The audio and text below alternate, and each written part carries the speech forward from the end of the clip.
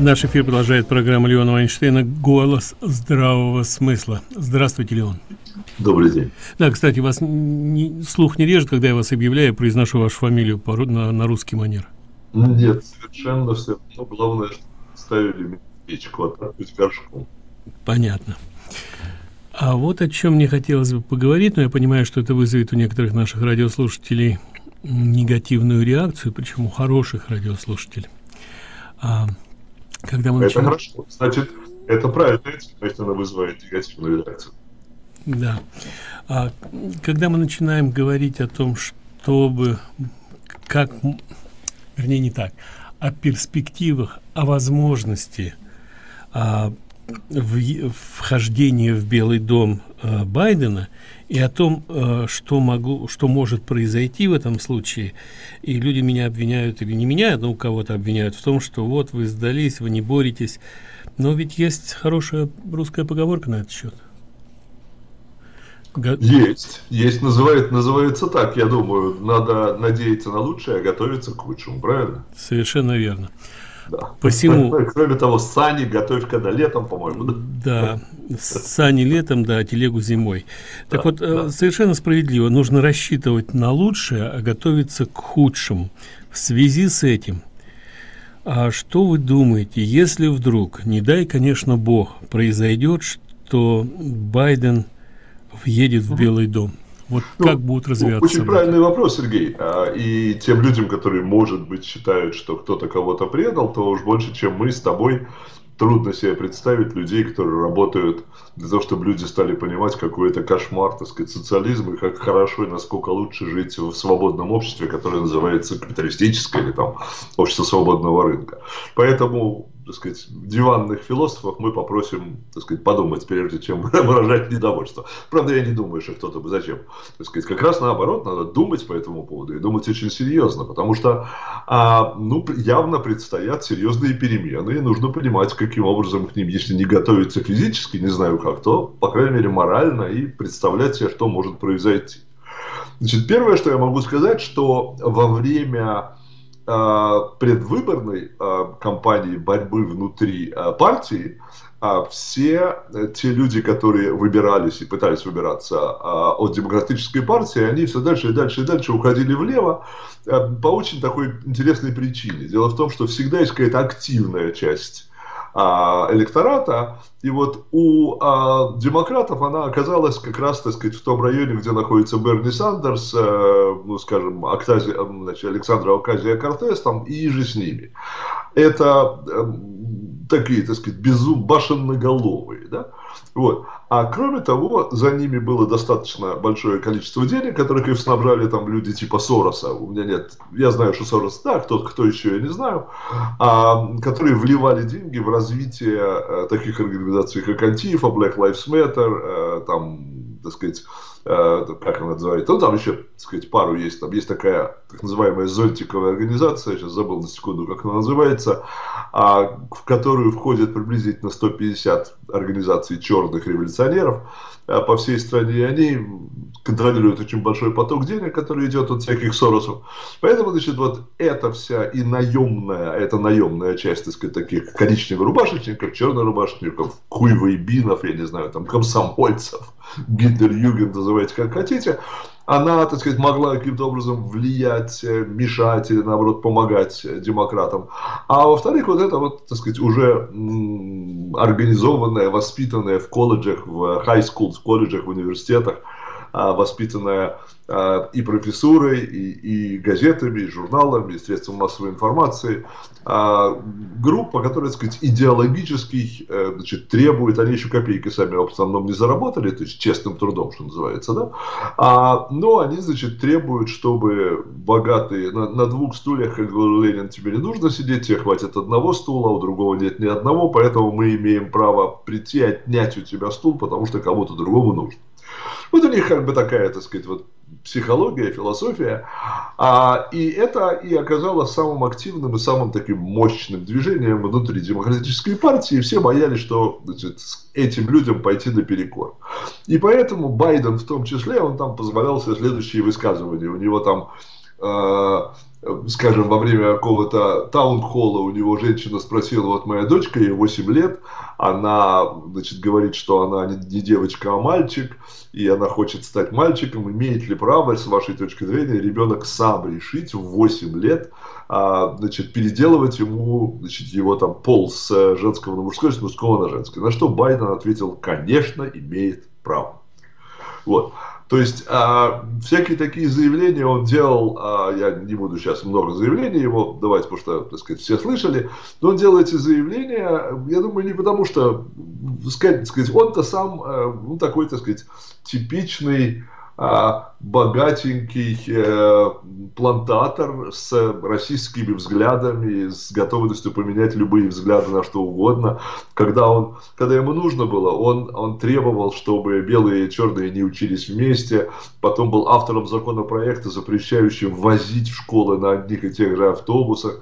Его знаменитое высказывание о том, что если значит, возить вместе и потом в одни и те же школы пускать черных и белых, то будет не школа, а зверинец или там джунгли, сказал, я уж не помню. То есть он всячески ну, этот человек, который вот на этом делал карьеру, его наставники, его друзья, его, так сказать, и прочее, и прочее, они ну, такие расисты, подозреваю, что антисемиты, известна его стычка с Минахиевым Бегином, а, с Бегином или, или, или с а, тем самым, да, ну неважно, по-моему, не, так сказать, кто же, в каком-то году это было довольно давно уже, поэтому это скорее, ну хорошо, ладно, неважно, не буду лезть в это раз, раз забыл подробности.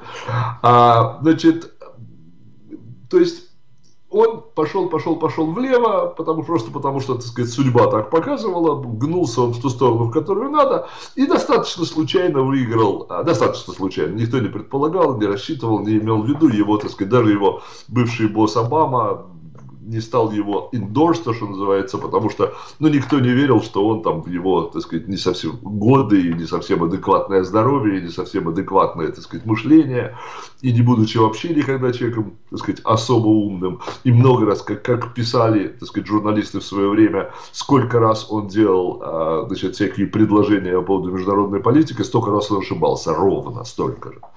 Значит, история показывала, что он ошибался каждый раз. То есть, а, человек, который вот пришел на гребне вот этой вот самой волны, э, от, отберем, мы разрушим ваш старый мир, а на обломках самовластия, может быть, когда-нибудь начнем что-нибудь строить. А, но потом, так сказать, ему надо было откатывать, потому что было понятно, что такие заявления не принесут ему много голосов, голосов избирателей, и он стал откатывать. Так вот, значит, что сейчас из самого интересного, что сейчас происходит, это то, что э, надо, скажем, так сказать, вот левое-левое-левое звено, те, которые называют себя демократические социалисты. Отбросьте слово демократические, социалисты. А, бывают разные социалисты. Одни хотят такого социализма, как в СССР, там, другие хотят такого социализма, как в Германии, в нацистской, национальный социализм, который, так сказать, предполагал, так сказать, фашистскую теорию а, имущества, а не отъем а, имущества у населения. А, то есть они социалисты, которые там хотят как можно больше отобрать, э, сказать, как можно больше распределить, и часть, чтобы прилипла к их рукам. Так вот, а, под командованием значит, AOC Александра Юказия Кортес начались уже бурные собрания, митинги, требования, на которых они кричат «Мы не дадим Байдену уйти значит, от обязательств, которые он нам дал, из-за чего мы стали за него голосовать. А их обязательства это закончить э, фракинг, практически заморозить любые новые разработки нефти, газа, угля, отнять лицензию как можно большего количества производителей угля, газа, нефти, а полностью запретить э, на так называемых федеральных землях, на в океанах внутри, там, и там, на Аляске и т.д. А, значит, то, что Трамп разрешил, то, из-за чего страна стала производить самым большим в мире производителем энергоресурсов. А, они хотят а, начать перемещать а, бедных детей, как они говорят, но имеется в виду, так сказать, все бедных людей в богатые районы. То есть они хотят разрушить систему зонинга. И похоже, что Байден на это пойдет, потому что Камала Харрис уже сказала, что значит, они будут этим заниматься. Что значит разрушить систему зонинга? Значит, все те, кто живет в кварталах, в которых, скажем, не разрешено строить многоквартирные дома, или там не разрешено фабрики, там заводы и прочее, просто знайте, что мало того, что будет разрешено строить многоквартирные дома, еще и тем, кто будет там строить э, многоквартирные дома для бедноты, то есть самые, самые легкие в постройке, а, самые, что называется, простые, типа projects, если кто-то ездил в нее, ну, я думаю, что в Чикаго тоже есть, да? Да, конечно, есть projects, да, естественно. Вот типа projects, может, не там не стоэтажные, но, по крайней мере, 4, 6, там, 8-этажные, на 100 квартир, там, на 60 квартир. И вот в центре suburbs, то есть предместий, в которых вы, господа, покупали дома, потому что таким образом вы уходили от тесноты, вы уходили от э, криминалитета, вы уходили от drugs, вы своих детей вывозили из мест, в которых они не могут гулять, ездить на велосипедах. Сейчас там будут строиться, государство будет это очень субсидировать, а, значит, выкупаться участки и строиться там многоквартирные дома, куда государство будет переселять, ну, скажем, так сказать, там, пьяниц, наркоманов, людей, которые только что вышли из тюрем, многодетных матерей, там, у которых пять детей от четырех отцов, там, и т.д. и т.п. Ну, и сразу же за ними, конечно, приходит гангс, э, перестрелки, наркотики, пьянство, закры, закрытие дверей, необходимость ставить железные решетки там, и тому подобное, и тому подобное. То есть это будет реальностью, поэтому думайте по этому поводу. Теперь, э, значит, следующее, что значит, они требуют сделать, это э, значит, есть, есть программа, с которой значит, три человека, которые будут обязательно в правительстве у Байдена, это значит, ну, Камала Харрис, уже вице-президент, Букер, а, значит, сенатор, который либо будет просто в правительстве, либо будет руководителем какого-нибудь комитета э, при, при Байдене и тому подобное, потому что у него, так сказать, была такая обширная программа а, по борьбе с нищетой. Они все очень хотят бороться с чем-нибудь для того, чтобы большие деньги государство выделяло на это, а на поток они тут же садятся, что называется, на трубу и начинают отсасывать от него.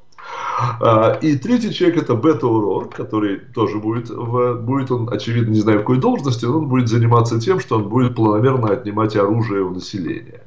У них следующие планы. Они сначала хотят ограничить количество оружия, там, скажем, там, не больше восьми или шести, не знаю. Там есть куча людей, у которых большие арсеналы.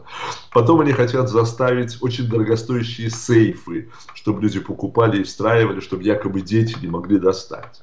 А потом они хотят, а, значит, налоги начать на оружие, причем чем более скорострельное оно, тем больше налогов будет. Ну и в финале они, когда они все это на нас нагрузят, они будут предлагать выкупать оружие у населения. И когда народ должен тратить очень много денег, и у них и денег нету, и нету денег на сейф, и нету денег на налоги, и прочее, и прочее, то я думаю, что достаточно много людей скажет, черт с ним, отдам я свою пушку там или пистолет, зато, так сказать, я не буду всего этого платить и получу еще обратно те деньги, которые за него когда-то заплатил. То есть это будет полномерное отнятие оружия населения, а как вы, так сказать, все знаете, это, так сказать, не обязательно ведет, но во всех тех случаях, когда узурпаторы типа там Гитлера, Мао Сталина, там Чаушеску, так сказать, Полпота и тому подобное, а, перед тем, как они большие вводили реформы, когда отстреливали треть населения и сажали в тюрьмы, они до того отнимали все оружие, чтобы не бояться приходить по утрам арестовывать людей, чтобы их не встретил, что называется, град пуль от тех, кто от них будет отстреливаться. Значит, э, вот такие вот программы они собираются принимать. Одновременно с этим э, произойдет, наверное, самое большое в истории Америки увеличение налогов. То есть они просто отменят все то, что Трамп дал. И а, думаю, еще, так сказать, придумают еще что-то а, дополнительное, потому что ну, на все те программы, которые они собираются делать, нужно огромное количество денег, где их брать совершенно не ясно, потому что а, ну, всем понятно, что если просто печатать деньги, это будет инфляция. А если занимать э, деньги у Китая, то в какой-то момент Китай перестанет давать эти деньги, либо потребует что-то взамен, а, что ему, наверное, дадут, потому что, там, так сказать, боролись не с Китаем, а с Трампом. С помощью Китая очень похоже. По крайней мере, китайских денег там и тому подобное. Значит, а, Нэнси Пелоси, скорее всего, уйдет со своей должности, потому что она того, что, того на что они рассчитывали, того, что а, надеялись значит, все средства массовой информации, которые они называли «голубая волна» то есть сметет, мол, голубой волной огромное количество людей из Конгресса республиканцев, из Сената, и они, значит, все получат. Ну вот в Конгрессе они, правда, остались в большинстве, но это большинство значительно сократилось. Как минимум 5, а возможно 7 или 8 новых э, значит, людей попадут в Конгресс республиканцев. Причем это, так сказать, и женщины, и черные, и зеленые, и, и испанки, и мексиканки, и, так сказать, кто угодно. А, так что, так сказать, вот GOP, республиканцы становятся более разноцветными. А, думаю, что Трамп в этом как бы, так сказать, вот приложил большие, большую руку, что, так сказать, его прагматичная философия стала доходить до большего количества людей. Люди перестали расценивать, как они раньше, это демократы, это, значит, республиканцы, они за, за капитал, демократы, они за рабочих, поэтому, значит, вот работающих мы будем платить. А, значит, что еще интересного произойдет, э, значит, когда придет, э, значит, Байден? А, вот что еще интересно. Дело в том, что я там не заболтался, отвечая, ничего? Не, замечательно все. А, несколько дней тому назад а, наш сосед Трюдо, канадский, произнес очень интересную речь который, значит, он как бы, так сказать, поздравлял а, себя и Канаду с тем, что, наконец, значит, вот пришли а, адекватные люди, с которыми они смогут работать, и Европа сможет работать, демократы, и, сказать, произнес несколько ключевых слов, типа, значит, а, и начнется, надо, и мы сможем начать работать над давно запланированным Great Reset. Great Reset – это великая перемена великая перемена. Я уже участвовал несколько раз в великих переменах, но мне совсем больше не хочется. Значит, сразу же после его речи несколько миллионов человек, а потом это увеличилось до десятков миллионов, пошли в Google искать, что это такое. Вот, должен сообщить, что великая перемена – это а, идея значит, такого человека, который, наверное, сегодня не имеет аналогов по влиянию на на главы государств, на, на, так сказать, вот на политику государства и прочее, которого никто из вас, наверное, скорее всего, не знает, такой Клаус Шваб. Клаус Шваб, ему 82 или 83 года, и он а, значит, 30 с лишним лет тому назад организовал в Давосе значит, World Economic Forum, который значит, собирается а, там раз в год. А, и так, со стороны его называют тусовкой миллиардеров с головами государств. На самом деле это все значительно более серьезно. И, так сказать, они уже стали членами ООН, там, так сказать, и эту программу ООН они получили деньги на них. И они там разрабатывают, как говорит Клаус Шваб, четвертую а, индустриальную революцию, которая должна привести вот к этому самому Great Reset. Значит, мощным, мощным, потрясающим, значит, переменам. А перестройка, то есть, да? Ага, вот Great Reset это великая перестройка. Боже мой, ужас какой-то. Вот. Значит, в чем основная идея этой великой а, перестройки? Вот Клауса, который приветствовал сейчас господин Трюдо и, так сказать, по дороге выдал всех своих что называется, подельщиков, а именно руковод... основных руководителей Европейского Союза, мы уже знаем, кто это, да, Германия, Франция, так сказать, Бельгия там, и тому подобное, да. Кстати, и Англия тоже, что меня немножко удивило, но потом я стал копаться в биографии Джонсона и понял, что там не все так просто, как нам казалось. Не все так капиталистически, как нам казалось. А, значит, а, в чем смысл всего, так сказать, происходящего? Зачем это нужно делать? Дело в том, что э, руководство, мировое руководство будет стремиться привести к следующим трем «не» наш мир. Значит, к 1935 году, написано в программе Great Reset Клауса Шваба, ни у кого из нас в развитых государствах не должно быть имущества. Пожалуйста, не решите, что я сумасшедший. Значит, это там так написано и поддерживают его все главы европейских государств, плюс Канада, плюс Байден с его людьми. Значит, второе. У, ни у кого из нас не будет денег. Я хочу, чтобы это осело у вас в голове. У нас не будет ни имущества, ни денег. А как же мы будем жить? А, а мы будем пользоваться, мы будем снимать.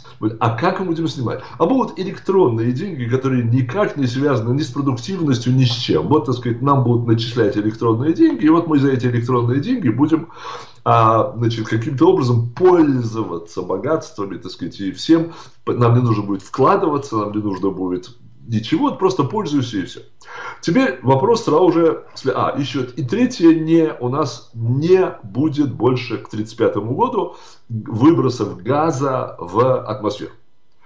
А, то есть, иными словами, мы перестанем пользоваться нефтью, мы перестанем пользоваться углем, мы перестанем пользоваться газом и не будем ничего делать, что, так сказать, с ним связано на улицах нашего города, за городом, на электростанциях и тому подобное. То есть, все, вот это три «не», да? Не будет имущества, не будет денег и не будет загрязнения атмосферы. А пока не лезешь вглубь этих идей, то как бы, ну, очень хорошо, Значит, что такое не будет имущества? У меня не будет имущества, а то я могу снимать. Да, но может это и лучше. Да? А чье будет имущество?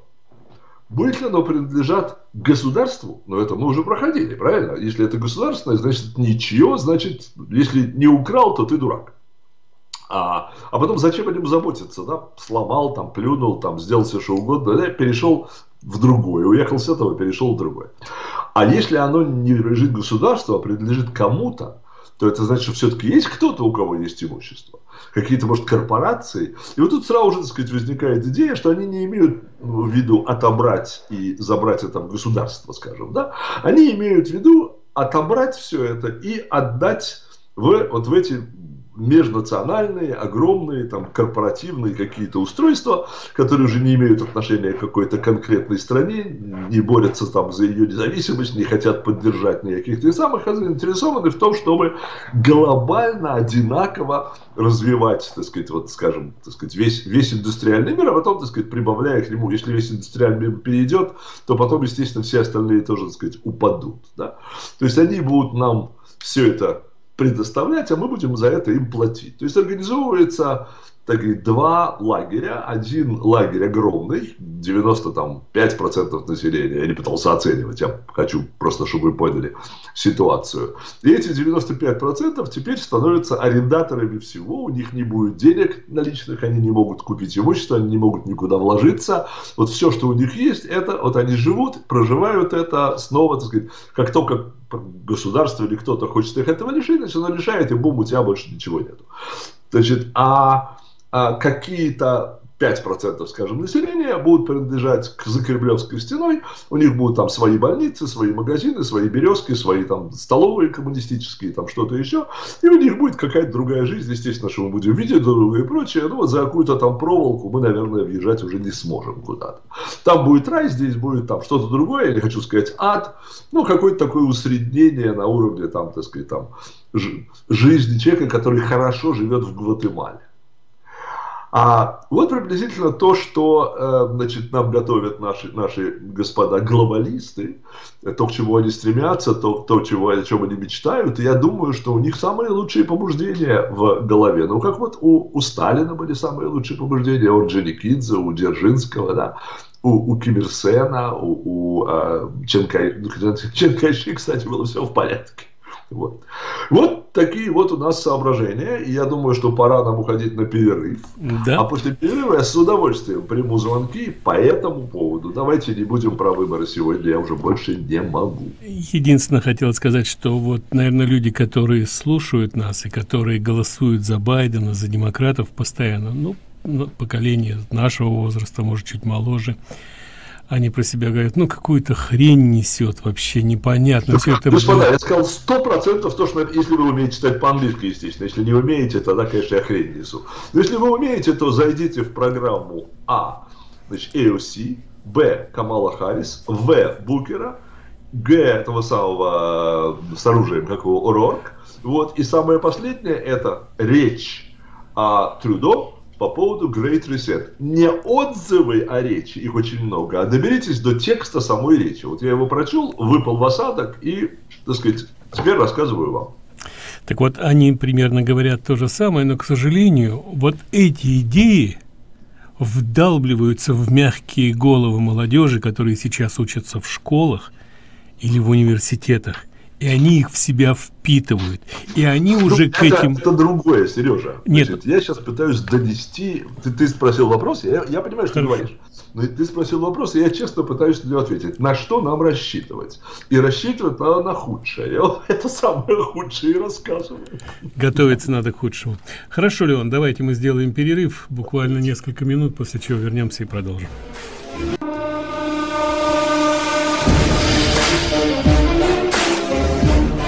Возвращаемся в программу голос здравого смысла голос здравого смысла телефон в студии 847 400 5200 и давайте попробуем принять первый звонок. Добрый день пожалуйста в эфире. Алло здравствуйте.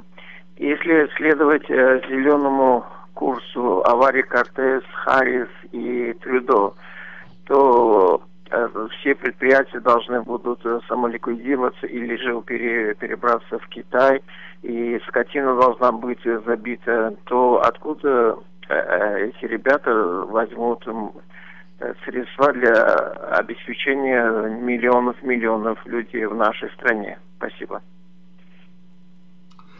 А, у меня есть этот же самый вопрос к ним. А, в этом же и проблема. А, значит, что читаешь эти бредовые идеи, но это не просто бредовые идеи. Поговорите с молодежью, они с пеной голоса кричат, что вот вы увидите, сейчас придет Байден, и будет все намного лучше, чем жить, чем, чем с Трампом. Они, например, говорят, Байден собирается перестраивать, на полном серьезе собирается перестраивать 2 миллиона офисных зданий в США Зачем перестраивать, чтобы поменять там отопительную там, и охладительную систему с той, которая базируется сегодня на ископаемых, на ту, которая будет базироваться на renewable energy. Значит, и сразу же таким образом у нас образуются 25 миллионов рабочих мест. Ну, я, я сейчас преувеличиваю, так сказать, там, какое-то количество, да? То есть они тут же там 10 миллионов, 5 миллионов. А, значит, на ошарашенный вопрос вообще у Байдена и его людей не спрашивал ни один журналист этих вопросов. А когда те, которые пытались это спросить, приближались, их отгоняли, не давали им давали задавать вопросы. То есть на вопрос, ну хорошо, вы организуете эти рабочие места, а кто их будет оплачивать, если это все коммерчески не будет иметь никакого смысла? Ответ у них, когда что-то похожее они спрашивают, следующий. А сколько стоит человеческая жизнь? а сколько стоит существование планеты, а как вы смеете вообще говорить о деньгах, когда речь идет о жизни наших детей и внуков. То есть вот когда это произносится, понятно, что никакого разговора быть не может. Поэтому ответить на ваш вопрос я не могу. Я бы с удовольствием задал его Камале, Байдену, Букеру, который тоже автор нескольких программ, связанных с такой вот переделкой а, государства на на, зеленое, на зеленую энергию. А я читал, опять, я не специалист, но я читал так сказать, достаточно серьезных людей, которые говорят, чтобы для того, чтобы полностью поменять нефть и газ в Америке на солнечную энергию, ну понятно, что ветряки, они достаточно мало дают, да. Во-первых, мало мест, где можно их ставить, во-вторых, они мало дают. А значит, солнечная энергия, то нужно покрыть приблизительно 20% территории США солнечными панелями. Вы себе представляете, что такое 20% территории США? Ну, то есть это бредятина для того, чтобы взять власть, для того, чтобы разрушить, для того, чтобы направить огромные потоки денег куда-то, вывести их за границу или на что-то, что, на что можно их дербанить. Но это называется распилить бюджет. Больше ничего это не называется. Вы что, неужели кто-то думает, что есть хоть один человек, может Байден, не знаю, не думаю, что который думает о благе нации, а не о своем кармане. Но Байден, по-моему, доказал, что он думает о своем кармане, а совсем не о благе нации. Наоборот, с моей точки зрения, он готов был продавать нашу нацию сколько угодно раз за благо, которые поступали ему, его сыну, его брату и, так сказать, в семью, что называется, да? То есть нормальная криминальная семья, все на продажу, родина, там, страна, честь там и тому подобное. Добрый день, пожалуйста, в эфире. Алло, добрый день. Знаете, мне немножко как бы чуть неприятно слушать. Я объясню почему. Потому что, знаете, людей сейчас и так очень много страха, тоски. Вот, и если, а я не верю, конечно, что победит Байден, и тогда мы будем говорить об этом после 20 января. А сейчас нужно рассказывать на самом деле то, что происходит, то, что, допустим, вчера Силу Беннон сказал, как э, люди, это двое, э, блоках, вот, которые держали line. Люди держали line, они, принципе, много часов, потому что был пересчет блока, знаете. Прямо была трансляция по стриму, была большая трансляция, 8 миллионов view ов. Сегодня выступил э, э, с Аризона, вот их GIP, алло, меня слышите? Да, сказал, что в любом случае мы проголосуем, наши выборщики проголосуют за Трампа. Понимаете? И так хватает всего того, что у людей есть. Просто надо держать лайн. Я понимаю, просто вчера тоже, опять говорю, я когда вас вчера слушал, да, я не хочу вам обещать ничего, понимаете, не хочу обещать. Потом будем об говорить, если это произойдет. Но сейчас надо говорить совсем о другом. То, что происходит, как раз реальность, и которая есть реальность, которая... И я верю, что Джорджия тоже проголосует выборочка за Трампа. И то, что недаром сегодня Трамп встречался с э, представителем Мичигане, тоже будут, э, тоже не проголосуют, и значит, штат тоже не будет. Вот это нужно вещи людям рассказывать. Люди не имеют информации, не знают. А не то, что что-то произойдет когда-то, когда-то. Через два месяца об этом говорить. Спасибо. Ну, вот это то, о чем я говорил. Народ ну, да, ждет.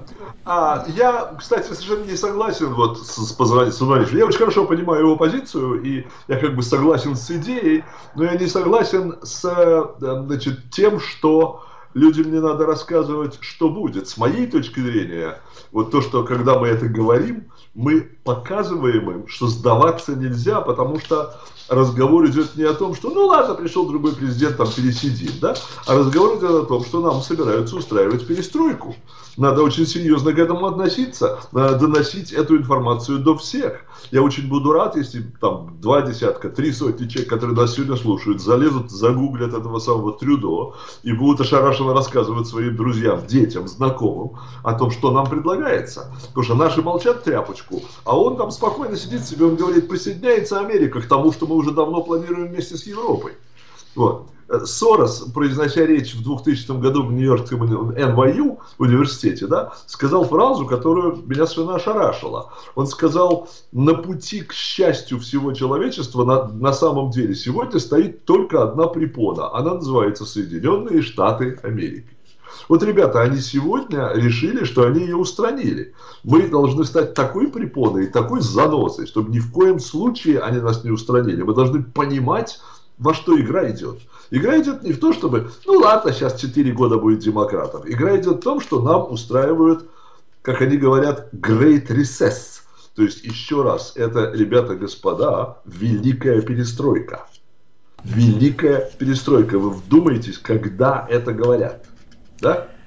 Вот это говорят тогда, когда нам нужно затуманить, задурачить мозги, потому что у нас опять собираются что-то отнять. А что у нас можно отнять? Две вещи. Свободу? Раз и имущество. Два.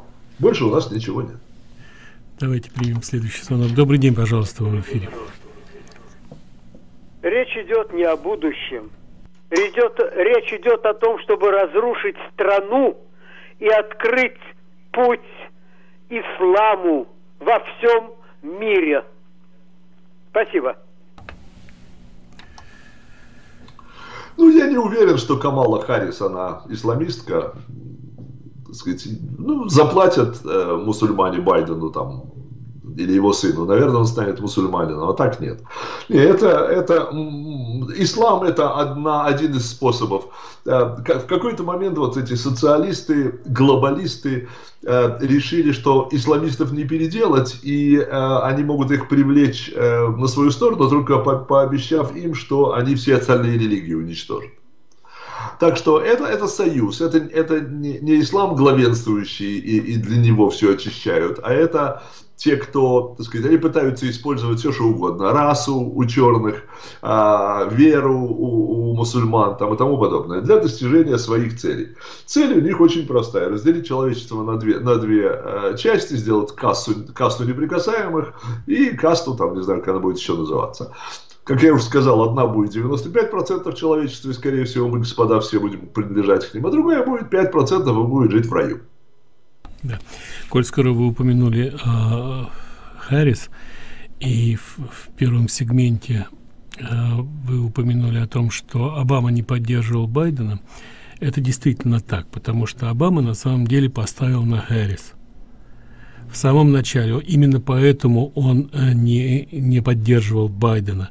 Но когда после того как харрис выбила выбыла из гонки даже на праймарис не получив ни одного голоса и не сумев собрать в свою казну хоть какие-то деньги то есть она совершенно оторванная даже демократы не поддерживали ее то есть она настолько влево что демократы ее не поддерживали но это проект барака обамы. Так вот он нашел способ каким образом поставить харрис в белый дом. Вот после после того как а, так сказать остались там ворон а, клабучар бутеджич а, сендерс и байден а, во время последней а, так сказать решающей вернее схватки где Клейборн поддержал Байдена и вытащил его из ямы, из абсолютной ямы, его компания была полностью разрушена. Обама звонил лично каждому из этих кандидатов, лично. Он звонил Клабучар, он звонил Бутаджур, он звонил Ворен, и он просил их драпнуть. Ну, правда, Ворон держалась до последнего, потому что он был они были заинтересованы в, в том чтобы они оттянули она, Сандерса, да, да чтобы она оттянула голоса, да. чтобы она оттянула голоса от сендерса а всех остальных обама им отдал приказ выйти из гонки. Это факт. То есть э, за всеми за всем тем что происходит стоит 44-й президент. Ну во всяком случае что касается избирательной кампании и выборов стоит 44-й президент. Человек который пообещал нам 10 лет там 12 лет назад кардинально изменить соединенные штаты америки. И эта идея он еще молод он еще полон сил. Это вообще в истории впервые когда президент после того как отбыл два срока не покинул вашингтон остался там и продолжает а, бороться с американцами с американскими традициями и вообще с этой страной. Так что а, все как бы по полочкам разложено все все точки соединены. И когда он не поддерживал байдена понятно почему потому что хай хотел хэрис и почему выдвинули байдена. И я я честно говоря у меня есть уверенность в том что даже если байден не дай бог войдет в белый дом это будет совсем ненадолго. То есть человек либо по доброй воле а, а... ну есть есть ситуация когда де-факто э, ты э, не президент а де юра ты президент вот есть серьезный вариант того, что они протащат Байдена до э, выборов 2022 года, тогда, как, и он через день после этого, что называется, передает Харрис с бразды правления, тогда Харрис не является выбранным президентом на остаток срока и может еще два раза баллотироваться. А, так что, так сказать, возможно, они такое сделают. Либо, если его жена будет байденовская очень лезть и пытаться, так сказать, мешать им руководить, то Байдена выкинут, э, отдадут в комиссию э, которые установят, что у него там, там то ли шизофрения, то ли там деменция, то ли что-нибудь еще э, и т.д. Да. Ну, при любом раскладе, при любом варианте, а на самом деле, как бы его задача протащить в Белый дом, ему определили такую задачу, протащить в Белый дом а, леворадикальную Камалу Харрис, а, и на этом его функция будет исчерпана, если будет себя вести мирно, спокойно, возможно, просидит какое-то время, а если начнет вдруг почувствовать себя президентом, вдруг ему приснится, что он президент и глава страны, и он может действовать самостоятельно, они найдут способ, чтобы убрать его из Белого дома. Вот примерно такая ситуация мне видится. Это в том случае, если, не дай бог, он войдет в Белый дом. Но на самом деле, а, я еще раз говорю, не все потеряно. Борьба предстоит неимоверно сложная, потому что бороться Трампу приходится не против Байдена. Ему приходится бороться против всех средств массовой информации, которыми владеют всего шесть корпораций шесть корпораций владеют 99 процентами средств массовой информации. Ему приходится бороться против академии против голливуда против цру и фбр к сожалению вынужден об этом говорить. Ну, а пока следующий звонок. Добрый день. Полностью согласен с вами что все сводится к тому чтобы остался обама. Спасибо ну, ну может быть не физически но во всяком случае ну, да, да, идеологически да, да, да. А, то есть продолжить дело обамы а, по, по а разрушению. У, у Сороса есть сын, который тоже, так сказать, с, с Камалой два с лишним часа разговаривал, а потом кивнул и сказал, что да, они тоже утверждают ее. То есть там, там свои заморочки, там не то, что один там король есть, там сказать, несколько человек или несколько организаций, которые, так сказать, в свое время фонд Клинтона в глобальная инициатива поддерживал а, не как раз Харрис, а Уоррен, ну, они проиграть проиграли, но они серьезно связаны с фондами всеми э, Сороса, и поэтому я думаю, что они тоже в игре. А, там много, много, много чего интересного происходит за кулисами, чего мы не знаем, никогда не узнаем там и тому подобное, и никогда не узнаем, можем только догадываться. Это, думаю, догадываться даже не можем. Вот. Но то, что нам навязали что-то, что мы точно не хотели, вот э, Сергей абсолютно точно описал. Камалу Харрис не хотели даже демократы, даже в Калифорнии, в ее родном штате. Она не получила ни одного голоса, она по опросам в Калифорнии, где она жила и работала всю свою жизнь, она получила 2% от демократов, тем не менее они сделали ее де-факто президентом. Ну, а чем все это может закончиться, вы довольно красочно все описали, и я думаю, что... Я даже не знаю, что думать по этому поводу. Ну, первое, это надо отвоевать Сенат, который может, в общем, защищать нас от глупостей всяких и от того, что Сенат может нас защитить от того, чтобы не набили 15 судей, а, то есть дополнительных 6 э, демократических по, по велению сердца судящих судей Верховный суд. А потом надо, естественно, делать все возможное для того, чтобы посылать деньги, например, хоть 5 долларов, хоть 10, потому что у Трампа и у людей очень мало времени, и чем больше людей они могут нанять, там огромные расходы пере, пересчет. Они требуют пересчета, говорят, только и хорошо, мы пересчитаем, это будет вам стоить 8 миллионов долларов. Там и т.д. То есть э, кто, кто живет в этих штатах, может быть, предложить свою помощь э, физическую, там, поднести что-то, посчитать что-то, там, сделать что-то, отвести и тому подобное. То есть, я, я надеюсь на то, что вот мы, эмиграция, которая меньше всех других эмиграций участвовала в политической жизни, в какой-то момент проснемся и, и начнем говорить, мы не хотим нашим детям того же дерьма, в которое мы сами были окунулись, потому что наши там прапрадеды или там кто-то еще а, не смогли выстоять против коммунистов. И, кстати, э, впервые за, ну, во всяком случае, современную историю выходец из бывшего Советского Союза, а женщина с Украины а, была избрана в Нижнюю палату да. Конгресса США. Да. Это, это впервые произошло, вот в, во всяком случае, на моей памяти. И это говорит о том, что все-таки выходцы из Советского Союза некоторые проявляют действительно активность.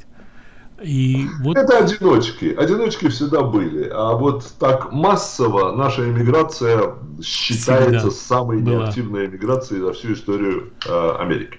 Ну, не знаю, как у вас. Э, да, похоже, и у вас там организуются некие мероприятия массовые, и в том числе с участием выходцев из бывшего Советского Союза, и у нас – организуются, организовывались какие-то мероприятия, приуроченные к выборам, и в них принимали довольно активное участие выходцы из бывшего Советского Союза. Все и... те 100 человек, которые туда ходят из раза в раз, я знаю по именам. Понятно. А живет у нас в Калифорнии 300 тысяч. Да. Ну и у нас примерно такое же количество проживает, но, к сожалению, массовости особо не отличаются но, скажем так, просыпаются постепенно, просыпаются. Ну, буду надеяться. Очень надеюсь, что они проснутся еще до того, как молотком по голове стукнуть. Леон, огромное спасибо. К сожалению, времени больше не остается, а посему до встречи в следующий раз. До свидания.